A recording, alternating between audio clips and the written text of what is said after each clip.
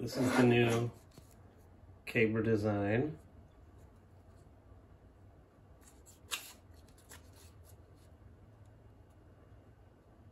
Has magnets in it, so when you shut it, it will lock into position.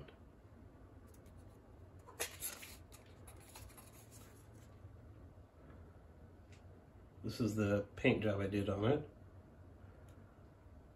of make it look rustic. Base coat of copper, second coat of copper and gold mixed together, and then a really, really dry brush of gold to kind of accent it. It's a little bit small for my taste, so I'm gonna scale it up and we'll go from there.